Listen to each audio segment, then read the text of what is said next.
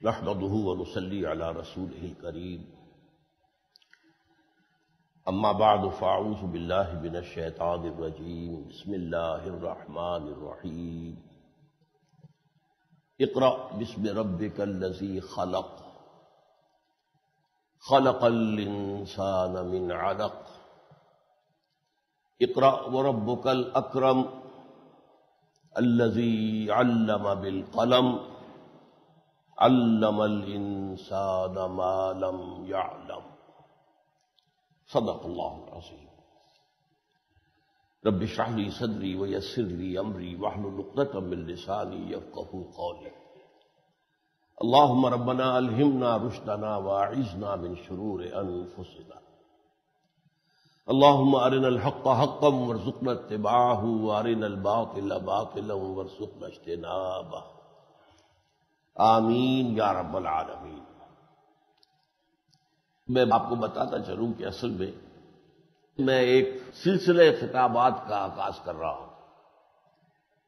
नौजवानी के दौर में जब मैं पुराने मजीद पर तालिब इलमाना गौर कर रहा था तो मुझे खास तौर पर एक मजमून से बड़ी दिलचस्पी हुई थी। सूरतों में नजूली एतबार से तरतीब सबसे पहली कौन सी आयात, फिर कौन सी आयात, फिर कौन सी आयात, फिर कौन सी आयात? सबसे पहले कौन सी सूरत, फिर कौन सी सूरत, फिर कौन सी सूरत? अगर के दीन में हुज्जत यही तरतीब है, जो इस वक्त हमारे पास मुशफ में है, यही लोहे महफूज की है, यही किताब मकनून की है, यही उम्मुल किताब की है, लेकिन यह कि कुरान के फहम के लिए वो जाविया भी एक है, किस तदरीज के साथ कुरान नाजिल मुहक्क के लिए, तालब इल्म के लिए, इसको समझने के लिए। चुनाच हज़रत अली रज़ी अल्लाह तु के बारे में ये मशहूर है कि उन्होंने पूरे कुरान की तरतीब नजूली के साथ उसको मुरतब किया था। लेकिन एक रिवायत तो यह है कि फिर जब हज़रत उस्मान रज़ी अल्लाह तु के ज़माने में और हज़रत अबू बकर के ज़माने में तरतीब हो गई किताबी शक्ल के अंदर, और फिर इस पर हज़रत उस्मान ने पूरी उम्मत को जमा कर दिया फिर एक रिवायत तो यह है कि हज़रत अली ने अपने उस नुस्खे को तल्फ कर दिया। अहले तशैयों के यहाँ यह रिवायत है कि नहीं, वो नुस्खा महफूज रहा था, उसे आम नहीं किया आपने। वो महफूज रहा और वो उनकी नस्ल में, यानी उनके नज़दीक जो अम्मा अहल बैत है, यानी हज़रत अली से हज़रत हुसैन को, या पहले हसन को, फिर हुसैन को, फिर जैनुल आबदीन को, फिर मोहम्मद जाफ़र को, फिर मोहम्मद मोहम्मद बाकिर को, फिर मोहम्मद जाफ़र को रहमल्ला और अब भी वो नुस्खा, वो इमाम मेहदी जो उनके अकीदे के मुताबिक एक गार में छुपे हुए हैं, उनके पास मौजूद है। और जब वो आएँगे तो वो अपना नुस्खा लेकर आएँगे। और बाद गाली शिया ये भी कहते हैं कि फिर ये नुस्खा मनसूख हो जाएगा। अहले सुन्नत के नज़दीक इन चीज़ों में कोई हकीकत नहीं है। असल कुरान यही है, इसी पर उम्मत जमा है, यही हज़रत अली का कुरान है। अलबत् तरतीब के साथ समझने में कुछ उसके और पहलू सामने आते हैं। जैसे सूरतों में आयात का रब्त क्या है, उस पर जब गौर करते हैं तो नए नए मजामी खुलते हैं।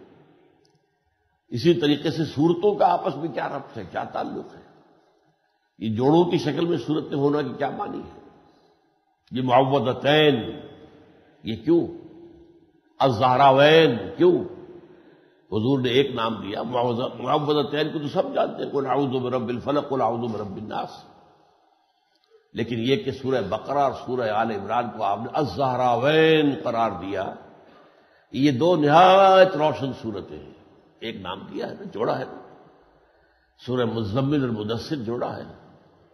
या यूहल मुदस्सिर कुम, या यूहल मुजम्मिल कुम, जोड़ा है। इस एतबार से मैंने जब गौर किया तो मालूम हुआ कि वैसे तो यह कि अक्सर सूरतों के बारे में यह अंदाज ही है, कोई यकीनी बात नहीं कही जा सकती। एक बात के बारे में तकरीबन इजमा है। पहली चार वही जो हैं, उनकी तरतीब मालूम है। पहली वही ये है पाँच आयात सूर्य अलग की जो मैंने अभी तिलावत की दूसरी वही सात आयात हैं सूर्य कलम या सूर्य नून की। तीसरी वही जो है वो नौ आयात है सूरह मुजम्मिल की। चौथी वही फिर सात आयात है सूरह मुदस्सिर की। और पांचवी वही सूरह फातिहा है, जो कि पहली मुकम्मल सूरत है जो हजूर पर लाजिम हुई। पहली जो चार आयात हैं, इनको जोड़ा गया है दूसरी आयात के साथ। और उनमें खास तरतीब आप देखेंगे। इन चारों सूरतों में तीन तीन मजामी आते हैं। शुरू में तो हुजूर से खिताब है, खास हिदायत, खिताब खास। उसके बाद आखरत का फलसफा और आखरत का जो हकीकत है उसके लिए मुख्तलिफ़ उसलूब में उस पर ज़ोर दिया गया। और तीसरे मजमून में इन तमाम सूरतों में जो मुखालिफीन थे और उनमें से भी जो बड़े बड़े थे अबू जहल है, वलीद बिन मुगीरा है ओकबा इबन अबी बाइट है। ये बहुत सरगर्म थे हजूर की मुखालफत में। यहाँ तक कि फिर हजूर की इजार रसानी में भी आगे आगे आए। फिर उनमें से एक एक के किरदार को लेकर साफ़ दिलाया गया है। तो यही तीन मजामी आपको सूर्य अलग में मिलेंगे, यही तीन मजामी सूर्य मुजम्बिल में है, यही तीन मजामी सूर्य सूर्य नून में है, या सूर्य कलम जिसका नाम है, और यही तीन मजामी सूर्य मुदस्सिर। में तो आज मैं आगाज़ कर रहा हूँ इन पाँच आयात से कि जो सूर्य अलग की इब्तदाई आयात है। इर्शाद हुआ, बल्कि इससे पहले इसका पसमंजर, इसका शान नजूल समझ लीजिए। ये तो मैंने आपको बता दिया, इस पर तकरीबन इजमा है कि ये पहली आयात है जो हजूर पर नाजिल हुई। अगरचे बाग रिवायात और भी हैं। एक रिवायत ये भी है और वो भी एक जलील कदर साहबी से मरवी है। कि सूर्य मुदस्सर की इब्तदाई आयात पहली वही है, लेकिन यह कि उम्मत ने और साहब कराम ने भी उनकी राय को रद्द किया है, नहीं। पहली वही बिल इतफाक यही इसका पसमंजर क्या है? क्या हालात थे जिनमें ये नाजिल हुई है? कब नाजिल हुई है? किस जगह नाजिल हुई इसके जिमन में एक बड़ा तफसीली वाकया है, जो हज़रत आयशा रज़ी अल्लाह तहा ने बयान किया है।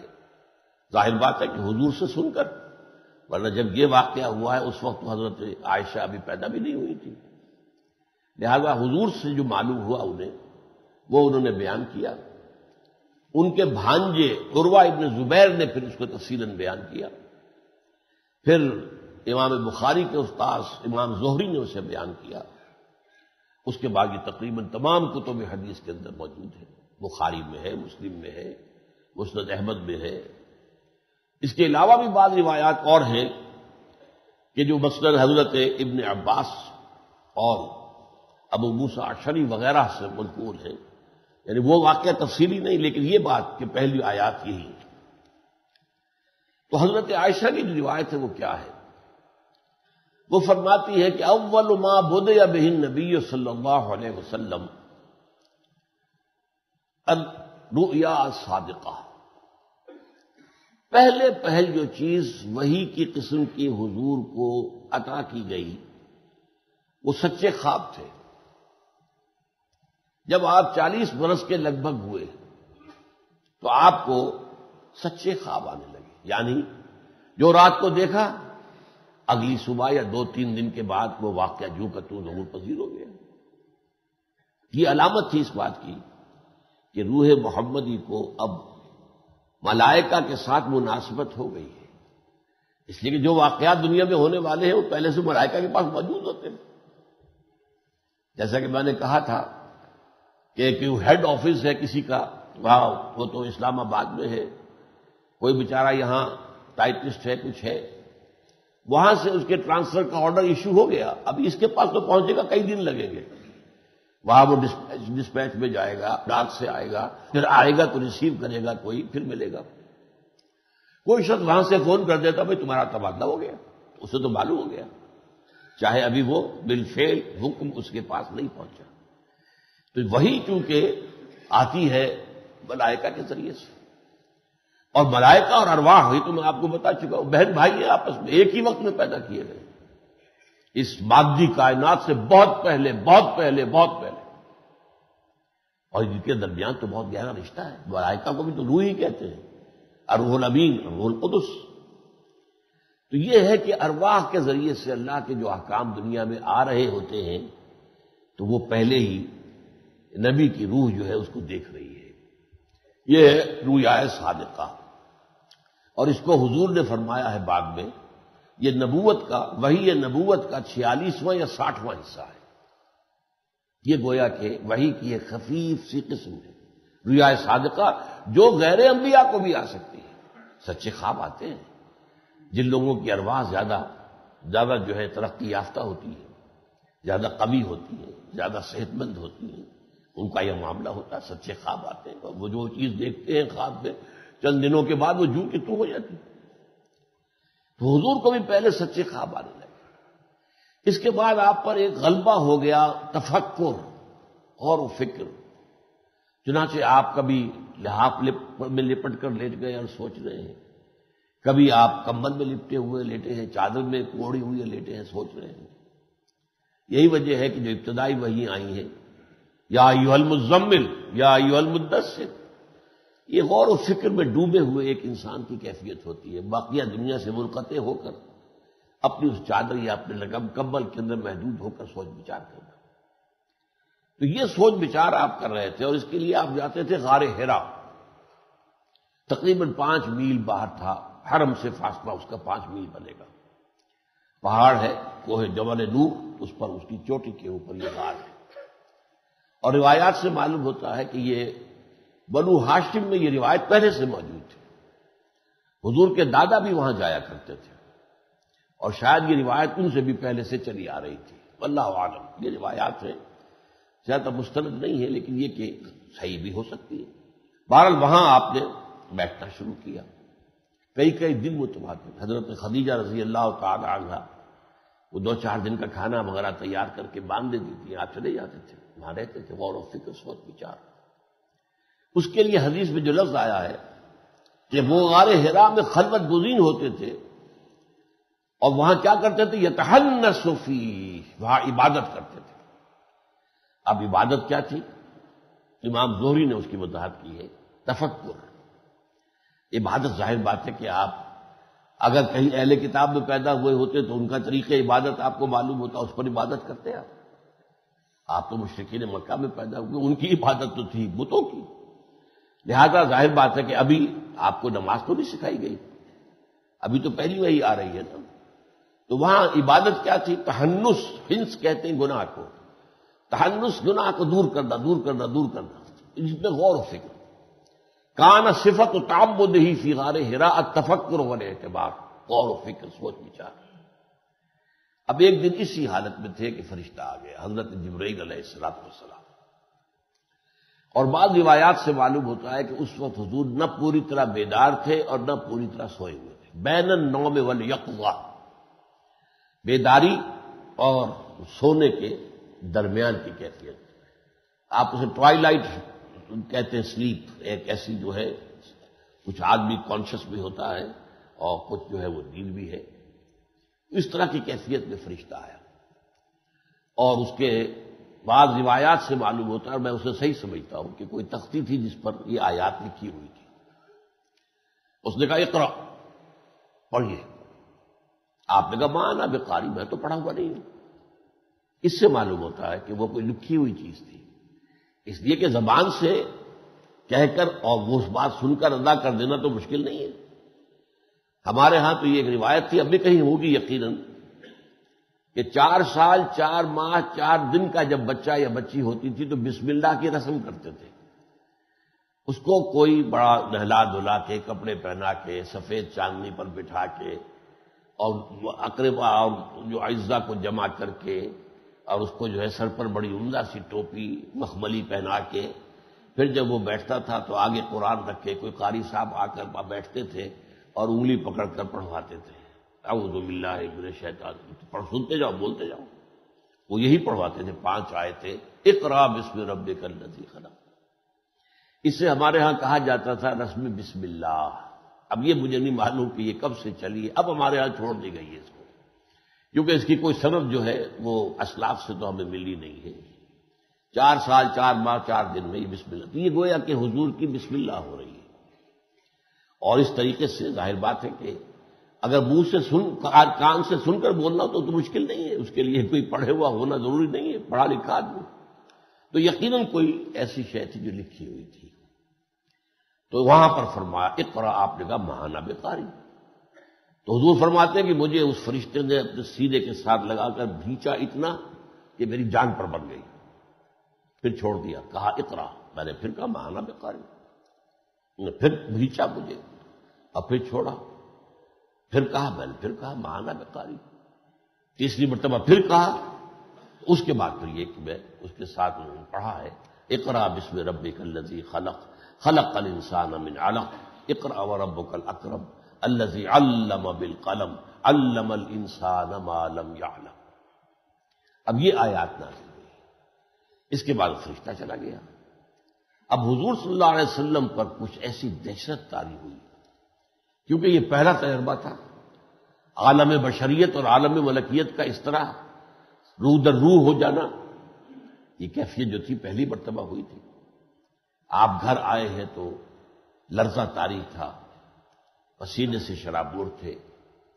आपने कहा, हज़रत खदीजा से गम्मेलूनी गम्मेलूनी मुझे कब्बल उड़ा दो कब्बल उड़ा दो कब्बल उड़ा दो। उन्होंने कब्बल आपके ऊपर डाल दिया। फिर आपने फरमाया कि मुझे क्या हुआ है? खशी तो अला नफसी, क्या हुआ है मुझे? मैं तो मुझे तो अपनी जान का अंदेशा है। ये सूरत हाल क्या पेश आ गई है? उन्होंने फरमाया, नहीं, अब ये है सिद्दीका, तस्दीक करने वाली सबसे बढ़कर। अल्लाह आपको जाय नहीं करेगा। आप तो यतीमों की सरपरस्ती करते हैं, बेवाओं की मदद करते हैं। आप गरीबों को खाना खिलाते हैं। आप अपने अकरवा और अज्जा के हकूक अदा करते हैं। अल्लाह आपको जाय नहीं करेगा। बहरहाल वो उसके बाद वो लेकर गई अपने चचाजाद भाई वर्का इबन नौफी के पास। ये असल में अब ये जो मुतलाशी होते हैं हक के, ये ऐसे इंसान थे, सलीमुल फितरत थे। और ये ईसाई हो गए थे। इसलिए कि जब तक हुजूर की बेसत नहीं हुई ईसाइयत ही इस्लाम थी ना। वो तो दीन इस्लाम हज़रत तमाम अंबिया का दीन इस्लाम है, हज़रत ईसा का दीन इस्लाम। और जब तक हजूर नहीं आए, वही इस्लाम था। तो वो इस्लाम में आए इस मानी में कि वो ईसाई हो गए, शाम गए, वहाँ से इमरानी की तारीफ़ हासिल की। और काना यकतुल तौराता बिल अरबिया वल इमरानिया। और उनका इतना बड़ा इल्म था कि वो तौरात लिखा करते थे, अरबी में भी, इमरानी में भी। उनके पास गए। अब ये बूढ़े हो गए थे, नाबीना हो गए थे, बहुत मुआमर थे। तो हज़रत खदीजा ने कहा, चचा दाग भाई से, या इब्नाम देख जरा इनसे पूछिए, इनके साथ क्या मामला पेश आया? उन्होंने पूछा, आपने बताया। आपने फरमाया, मैं गवाही देता हूँ। उन्होंने कहा, मैं गवाही देता हूँ। ये वही नामूस है, यही वही फरिश्ता है, जो मूसा पर आया, ईसा पर आया। और इसका मतलब यह है कि आपको अल्लाह ने नबूत के लिए चुन लिया है। और काश कि मैं उस वक्त तक ज़िंदा रहूँ, जबकि आपकी कौम आपको यहाँ से निकाल देगी तो हजूर हैरान हुए। अवा मुखर जइया हूँ क्या वो मुझे यहाँ से निकाल देंगे? मैं तो बहुत महबूब इंसान हूँ उनका। असादिक अलमीन कहते हैं मुझे। इससे तो मेरे बारे में जो है, बहुत अच्छे उनके ख्याल हैं। मेरा एहतराम करते हैं, मुझसे मोहब्बत करते हैं। फरमाया, नहीं, जिस पर भी ये कलाम आया अल्लाह की तरफ़ से, उसकी कौम ज़रूर उसकी दुश्मन हुई। और कुछ दिनों के बाद हज़रत वर्का का इंतकाल हो गया। उनका सहाबा भी शुमार नहीं होता। इसलिए कि उस वक्त तक तबलीग का हुक्म हुजूर को नहीं आया था। गोया कि रिसालत का आगाज़ नहीं हुआ था। नबूवत का तो जहूर हो गया इस इस वही के साथ। अब मैंने यहाँ आगाज़ नहीं कहा। नबी, पैदाइश की नबी होता है। नबी आलम अरवाह में भी नबी है। लिहाजा हम आगाज़ नहीं कहेंगे। अलबत् जहूर हो गया इस पहली वही के साथ नबूवत का। अलबत् रिसालत का आगाज़ हुआ है, जब सूर्य मुद्दसर की आयात नाजिल हुई, वो हम पढ़ेंगे इंशाला अपने वक्त पर। तो चूँकि उस वक्त तक आपको अभी तबलीग का कोई हुक्म नहीं था, और न यह है कि किसी के ईमान लाने पर कोई उससे कलम शहादत पढ़वाया जाता था अभी वो मरहाना शुरू नहीं हुआ था। उससे पहले उनका इंतकाल हो गया। तो यकीन सिद्दीकीन में से है, इसमें कोई शक नहीं। लेकिन यह कि बहरहाल वो सहाबा में उनका शुमार नहीं है। यह है पसमंजर इन आयात। इकरा बिस्म रब लजी खलक। पढ़िए, अपने उस रब के नाम से जिसने पैदा किया।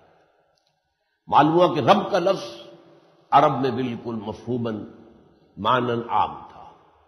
पूरी तरह समझा जाने वाला। रब हादल बैत, इस घर का मालिक। अब रब के मानी क्या है? रब मालिक को भी कहते हैं, आका को भी कहते हैं, और रब परवरिश करने वाले को भी कहते हैं। रब्बयानी हमें कहा गया है ना सूर्य बन इसराइल में अपने वालदेन के लिए दुआ किया करो। ए अल्लाह पर हम हुमा कमा रब्बयानी सगीरा।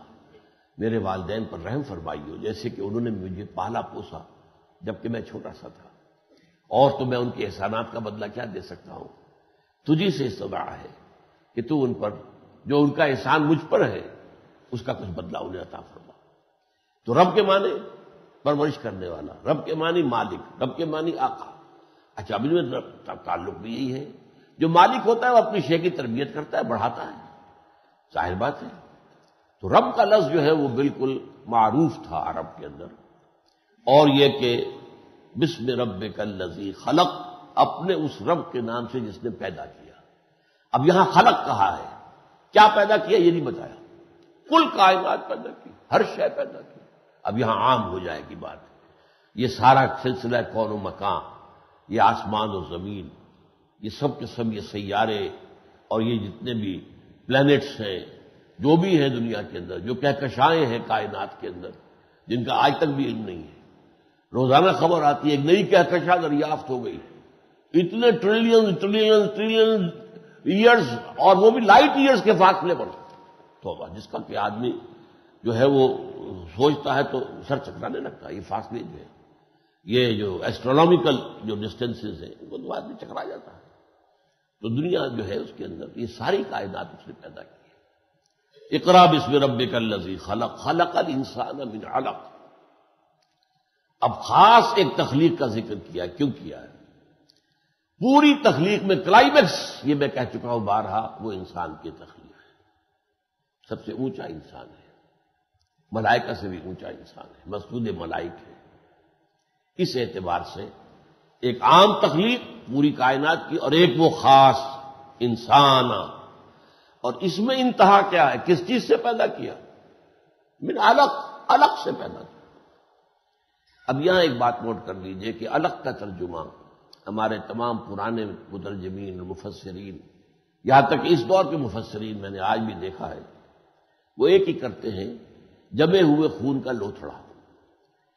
अब लुगवी तौर पर कोई ताल्लुक एन लाम, काफ का कोई ताल्लुक खून के साथ बनता ही अरबी का तो कायदा है ना कि जो उसका मादा होता है, उसका कोई ना कोई मफहूम के साथ ताल्लुक होना चाहिए। लिहाजा यहाँ पर जदीद जो इसकी तफसीर है वो क्या है? ये जैसे कि कुरान कहता है लकत खलक इंसान सुलालत बिन सुम जालना नुतफत फ़ी करारी मकीन। सुम खलक नुतफत अलकतन। फ़लक न मुजगतन। फ़लक मुजगत इजामन। फ़कसौर इजाम लहमा। सुमान शाना हो खलका नाखिर तो ये जो जनीन जो है, इम्ब्रियो रहम मादर में जो स्टेजेस हैं, उनमें से एक स्टेज को कुरान अलका कहता है। एक है नुतफा, एक है अलका। फिर है मुजगा। अब इसके ऊपर जो जदीद तहकीकत हुई है और मैंने आपको एक दफ़ा बताया था डॉक्टर कीथिल मूर जो टोरंटो में जो कनाडा की बहुत बड़ी यूनिवर्सिटी है उसमें प्रोफेसर है इस, इस मजमून का एम्ब्रियोलॉजी का और उसकी बड़ी जखीम किताब पूरी दुनिया में यूनिवर्सिटियों में पढ़ाई जाती है। एम्ब्रियोलॉजी यानी जनीन इल्मुल जनीन रहम मादर में जो है वो कैसे पैदा होता है बढ़ता है किस भी सही से गुजरता है वो बच्चा जो पैदा हो रहा तो उसमें यह है कि अलग से मुराद उन्होंने ये लिया है और वो मैं समझता हूँ सही है। और वो क्या है? नुतफा, ठीक है। नुतफा नुतफतुल रजुल। मर्द का जो है वो स्पर्म आ गया। उस गंदे पानी के अंदर तैरता हुआ। माँ की तरफ़ से वो बैजा, ओवम वो आ गया। इन दोनों की फर्टिलाइजेशन होती है फिलोपियन ट्यूब्स के अंदर। ये रहम मादर से ये दो निकलती हैं ट्यूब्स जो जाकर, जहाँ वो ओवम की ओवरी है, जहाँ से कि वो ओवा जो है बैजा, पैदा होता है, वहाँ पर करीब खुली हुई खुलती है। वहाँ से वो बैजा निकलता है और आता है ओवम उसके अंदर फेलोपियन ट्यूब्स के अंदर। और इधर से स्पर्म जाता है, जब जमा होता है मर्द और औरत का, उसके बाद अल्लाह की खिलकत है। फिर एक जरसूमा दाखिल हो गया तो बस। इसको हम कहते हैं, ये नुतफा है। और कुरान में सूरत दहर में कहा गया है नुतफतुल अमशाज। खलक इंसान में नुतफतिन अमशा, मिला जुला नुतफा। यानी नुतफतुल रजुल और बैदतुल उनसा, इन दोनों से मिलकर जो बना है। उसके बाद ये फिर उतरता है, जो रहम मादर है, उसकी कैविटी के अंदर, उसकी खला में आता है।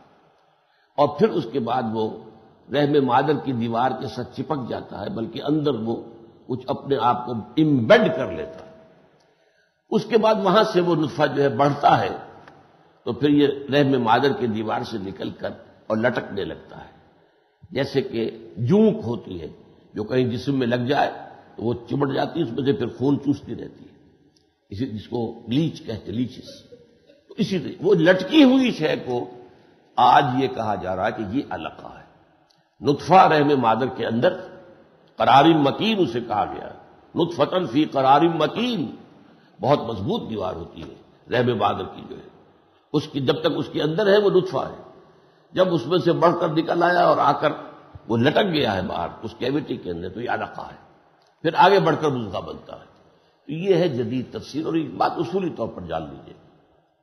साइंटिफिक फिनोमिना के बारे में हमें असलाफ ने जो मफहूम लिया है, वो लेना लाजिम नहीं है। यूँ समझिए कि दो मैं कहा करता हूँ, दो बातें आप अच्छी तरह समझ लें। जो दीन का अमली पहलू है, क्या करना है, क्या नहीं करना क्या हलाल है, क्या हराम है, क्या वाजिब है, क्या फ़र्ज़ है, ये तो आपको लेना होगा पीछों से, असलाफ से। और पीछे जाइए, और पीछे जाइए, और पीछे जाइए। आज के उलमा से जरा और पीछे जाइए, फिर उनसे, उनके जो इस थे, उनके पीछे जाइए। आई अरबा तक चले जाइए, फिर सहाबा तक जाइए, और फिर हुजूर तक अपने आप को पहुँचा दीजिए। पीछे से पीछे पीछे से पीछे। ये होगा दीन के अमल के बारे में। क्या करना है, क्या नहीं करना है। क्या जायज़ है, क्या नाजायज है। क्या हलाल है, क्या हराम है। इसमें कोई साइंस वाइंस का दखल नहीं होगा। ये तो सारा का सारा मामला फरमाने पर अल्लाह ने फरमाया, कुरान में। उसको समझाया मोहम्मद ने सल्लल्लाहु अलैहि वसल्लम। उसे नकल किया, सहाबा ने, ताबीन ने, तब ताबीन ने, अइम्मा ने, उसके बाद जो है ओलमा ने। लेकिन जो साइंटिफिक फिनोमिना कुरान में आए हैं उनके बारे में ये जान लीजिए कि ये हमारे, हमें पीछे जाने की ज़रूरत नहीं है, बल्कि आगे जाना होगा। दुनिया में ये जो है साइंसी उलूम, जब कुरान नाजिल हुआ है तो वो तो बहुत था ही नहीं ना, कुछ मालूम ही नहीं था कायनात के बारे में। लिहाजा वहाँ जो भी कुछ अगर किसी ने समझा कि कायनात जो आसमान जो छत के माने है, ठीक है भाई। बारिश जो है कैसे बरसाता है, अल्लाह ताला। जब उन्होंने माशकी को देखा कि वो पानी छिड़का रहा होता तो शायद वो बहुत बड़ी मश्क है अल्लाह के पास, उससे पानी छिड़का रहा। अब क्या है? क्या समझेगा? आज भी अगर कोई शख्स ये समझे, कोई ज़ाहिर बेचारा गंवार कि ये अल्लाह जो है ये छिड़काव की तरह कर रहा है तो ठीक है। जब तक वो ये समझे कि अल्लाह कर रहा है तो तोहीद उसकी कायम है। बाकी ये कि इल्म जो है उसके अंदर नहीं है, मालूम से मालूम बात नहीं ये दूसरी बात इस मामले में हमें आगे से आगे जाना चाहिए। और इसमें एक हदीस है कि जो बहुत अहम है, बहुत अहम है, बहुत अहम और बुखारी शरीफ की है, उसको कोई रद्द नहीं कर सकता। वो मामला क्या था कि हुजूर जब मदीने तशरीफ़ लाए तो आपने ये देखा, आपको मालूम है मदीने के अंदर तो नखलिस्तान था और खजूर पैदा होती थी सबसे ज़्यादा। और वो उनको कुछ पता चल गया था लोगों को, ये खजूर एक ऐसा दरख्त है जिसमें नर और मादा दोनों अलग है। नर फूल और है, मादा फूल और है। अब वो क्या करते थे? अब इनमें जो है पॉलिनेशन जब होगी तब फर्टिलाइजेशन होगी ना, जब ये मिलेंगे आपस में। तो उन दोनों को लाके करीब करके बाँध देते थे। ताकि पॉलिनेशन जो है फर्टिलाइजेशन ज़्यादा हो जाए। तो फल ज़्यादा होता था। हुजूर ने देखा तो हुजूर तो तजर्बेकार थे नहीं। मक्के में तो कोई खजूर थी, ना कोई घास थी, कुछ भी नहीं था। बेवादिन गैर जीजरें था। तो आपने उस उसूल के तहत के नेचर जो है, वो अपना इंतज़ाम खुद कर लेती है। इसके अंदर ये खाम खा तुम क्यों दखल देते हो? क्या नेचर जो है, अपने, अपना बंदोबस्त खुद नहीं कर सकती? तो आपने फरमाया, अगर तुम ये ना करो तो क्या है? ये नहीं कहा कि मत करो। ये कहा, ना करो तो क्या है? साहबा ने नहीं किया। उनके लिए तो ये इशारा बहुत था। आपका चश्मे अबरू का इशारा ही होता तो बहुत बड़ी बात थी, अगर आप कहते कुछ ना। या आपने फरमा दिया, मत करो तो क्या है? लेकिन उस साल फ़सल कम हो गई। अब आए, डरते डरते कुछ, झिझकते झिझकते का हजूर, आपने फरमाया था ना करें। इसे ताबीर कहते हैं ताबीर नकल ताबीर अलिफ के साथ हमजा के साथ ताबीर। ये ताबीर ऐन से नहीं है। ताबीर के माने कुछ और। किस चीज़ की ताबीर करना, खाब की ताबीर करना। एक ये ताबीर है। हमजा, अलिफ या हमजा जो भी कहेंगे उसे। तो आपने फरमाया था, हमने नहीं किया। फंसी कब हो गई है? आपने फरमाया, अंतुम आलमो बे उमूर दुनिया कुम ये जुमला नोट कर लीजिए। तुम अपने दुनिया के मामला को मुझसे ज़्यादा जानते हो। ये एक ऐसा कौल है जो कि सोने के हरूप में लिखा होना चाहिए? बदकिस्मती से हमारे उलमा जो है, अब समझते हैं कि जो हमारी तफसीर इबन कसीर में आ गया, उससे इधर उधर हो गया तो गोया कुहर हो गया। महाजल्ला ये बात तो नहीं है। जिस वक्त तफसीर इबन कसीर लिखी गई, तफसीर बैजावी लिखी गई, तफसीर इबन कबीर लिखी गई, ये तो ज़ाहिर बात है कि फिजिक्स, केमिस्ट्री, जियोलॉजी, एस्ट्रोनॉमी की क्या मालूम थी इंसान के पास? कुछ भी नहीं थी। लिहाजा उन्होंने अपने वक्त के दौर के मुताबिक जो चीज़ें थी उसके मुताबिक तर्जुमा कर दिया अब इस अलग के बारे में मैंने क्या गौर किया है? क्यों कहा गया ये कि जमा हुआ खून का लोथड़ा होता है? ये आपको मालूम है कि इसका मामला जो है, हमल होने का या ना होने का माहवारी के साथ बड़ा ताल्लुक है। अगर हमल हो जाए, माहवारी नहीं आती, बंद। ये अलामत है कि हमल हो गया। हमल नहीं हुआ तो अब जो निकलता है माहवारी में वो क्या निकलता है? जमे हुए खून के लोथड़े निकलते। तो यह समझा गया कि जब जमे हुए खून के लोथड़े से हमल शुरू हो गया तो फिर हम महामारी नहीं आई। तो गोया के अलग के मानी क्या है? खलक अल इंसान अमीन अलग, वो जमे हुए खून का लोथड़ा। ये मेरी तावील है ताबीर है कि ये तर्जुमा क्यों किया गया? हालाँकि कोई लफ्जी, लुगवी, कोई ताल्लुक ही नहीं। अलग अलग। मुतालिक चिमटा हुआ होना। मुतालिक कहते किसी चीज़ के साथ लटका हुआ होना। जैसे कि आपको मालूम है कि जूक की मैंने मिसाल आपको दी है ईद की मिसाल दी है। तो वो चिमट जाती है, फिर खून चूसती है। इसी तरह रहम मादर की उस दीवार से वो खून चूसता है, उसी से तो बढ़ता है। उसी से उसकी नशो नुमा पाती है। उसके पास गिदा और कौन सी है, जिससे उसे नशो नुमा पानी है? वही माँ की रहम की दीवार के अंदर से वो खून चूसता है।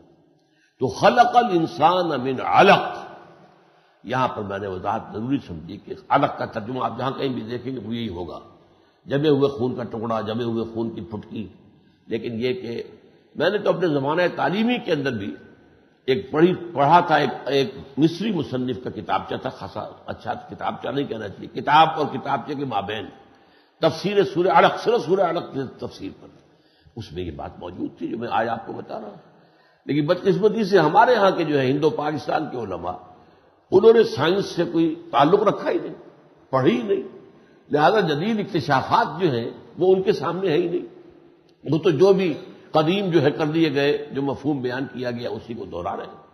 लेकिन यहाँ फिर मेरी बात नोट कर लीजिए, कहीं मुगालता ना हो जाए, कहीं आप मेरे खिलाफ जो है कोई मुहिम शुरू कर दें कि दीन में अमल का जो पहलू है, वो तो मुस्तफ़ा बरसा खींचरा की हम हमाओस अपने आप को पीछे से पीछे ले जाओ, पीछे से पीछे ले जाओ। जितना पीछे जाओगे, उतना ही खालिश दूध मिलेगा। जितना पीछे जाओगे, जितना दूर आगे हटते आओगे, उसके अंदर इम्कान है। जहन इंसानी जो है, वो आखिर मुलमस होता चला गया ना उसमें। लेकिन पीछे से पीछे जाओ। दौड़ पीछे की तरफ़ है गर्दिश है याम तू। दीन का अमली पहलू। उसमें यह है कि मुस्तफ़ा बरसा खेच रहा के दी हम उस अपने आप को मुस्तफ़ा के कदमों में पहुँचा दो। इसलिए कि दीन नाम ही मुस्तफ़ा का है, सल्लल्लाहु अलैहि वसल्लम। अगर मऊल रसीदी तमाम बूल हबीस, अगर तुम वहाँ तक नहीं पहुंचोगे तो फिर ये सब मूल भी है। तुम इसे जो भी समझ रहे हो अपनी जगह पर, वो नहीं।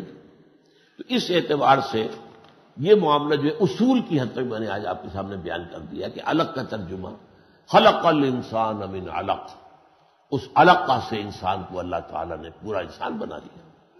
इकरा व रब का अक्रम, पढ़ो। और तुम्हारा रब बहुत करीब है। बहुत करीब है, सबसे बढ़कर करीब है। इस करीब के मानी जो है समझ लीजिए, अरबी में किसी की तारीफ़ करनी हो, किसी की मदह करनी हो, किसी की खुशामद करनी हो तो जो सबसे बड़ा लफ्ज है वो करीम है। एक वाक्य बड़ा प्यारा है सीरत का वाक्य है। गजब तमूक से वापसी पर यह वाक्य पेश आया था। लंबा सफ़र था।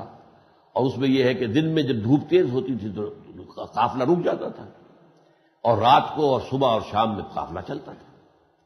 दोपहर में यह कि जहाँ कहीं साया देखा, वहाँ पे जरा, अब वो हर जगह वहाँ को गुंजान, जंगल तो नहीं था। कहीं कीकर का दरख्त यहाँ है, कहीं वहाँ है, कोई वहाँ पर है। तो एक एक आदमी एक एक के दरख्त के साय में लेटा हुआ है, दूर दूर।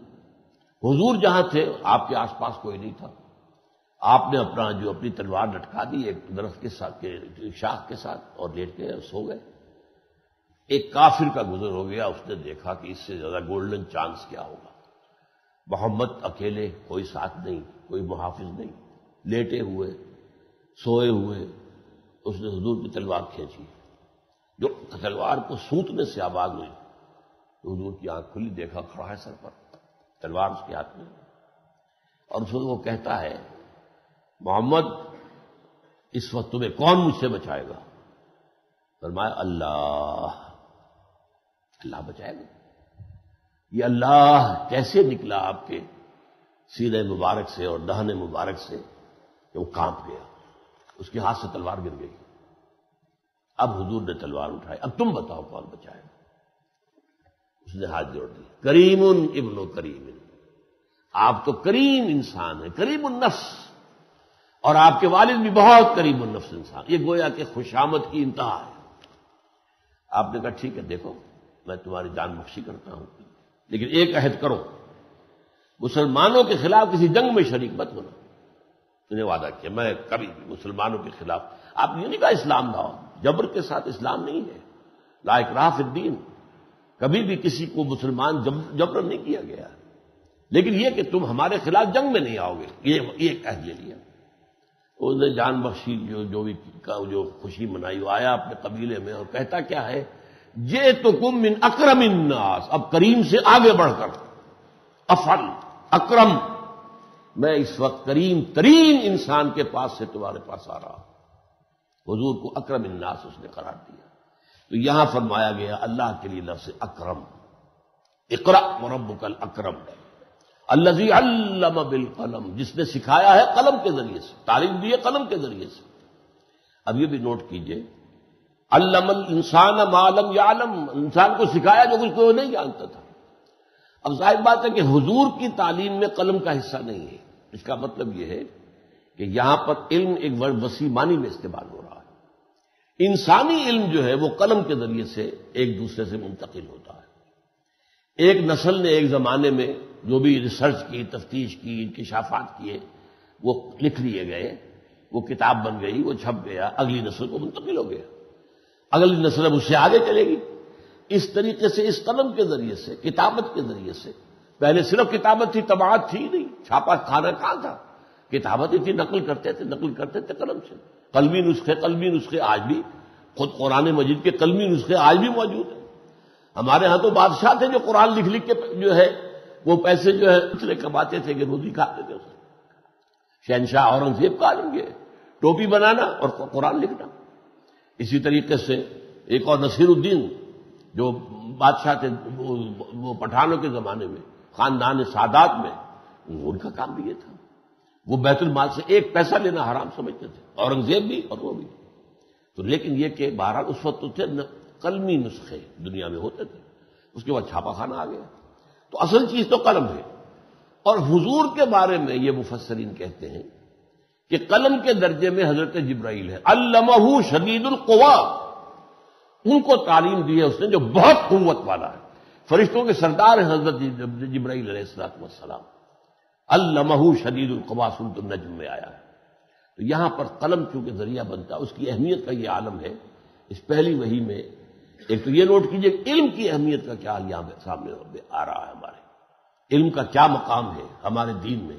पहली वही अभी इसमें न नमाज़ का ज़िक्र है, न रोज़े का ज़िक्र है, न तोहीद का ज़िक्र है, बस गोया कि इसके पसमंतर में रब, तुम्हारा रब एक है। और वो मानते थे, खालिक हमारा एक ही है। वो तो कोई नहीं कहते थे कि तखलीक कायनात में अल्लाह के साथ कोई शरीक है। लिहाजा वो चीज़ पसमंतर में है। लेकिन और जो दीन की अहम तरीन बातें उनसे कोई भी नहीं आ रही बात सारी आ रही इल्म की। इकरा, अब इसमें रब कल नजी खलक। खलक अल इंसान अमिन अलक इकरा व रब अक्रम। अल्लजी अल्लामा बिल कलम, जिसने कलम के, और दूसरी सूरत जो है, दूसरी वही जो है, वो इसी की कसम से शुरू होती है। नून वल कलम व मा यस्तरून मान तब नेमत रब कब मजनून। वही न कलाला खुलक अजीम फसतुब से वयुब सरून बेये कुबल मफतून। वो तो कलम की कसम से शुरू हुई। तो इस एतबार से ये इंसानी इल्म जो है, उसकी जो अहमियत है, मैं असल में इसके हवाले से इंशाला आइंदा गुफ्तु करूँगा दो चीज़ों पर। एक तो यह कि इल्म की क्या कदर व मंजिलत है इस्लाम के नज़दीक और खासतौर पर यह कि एक तरफ़ इल्म, तालीम व ताल्लुम सीखना सिखाना, दूसरे इबादात, इन दोनों के अंदर क्या नस्बत है हमारे दीन की तालीम के एतबार से? कौन सा अफजल है? जिसकी ज़्यादा कदर कीमत अल्लाह की निगाह और फिर एक और मजमून ये सामने आना चाहिए कि इल्म की किस्में कौन कौन सी उनमें से जो अहमतर इल्म है वो कौन सा है?